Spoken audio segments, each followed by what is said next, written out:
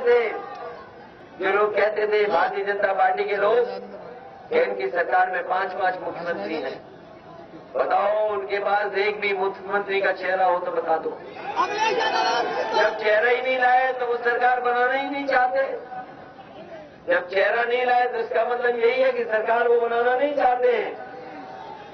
और फिर, सावधान रहना, वो पत्थर वाली सरकार से भी।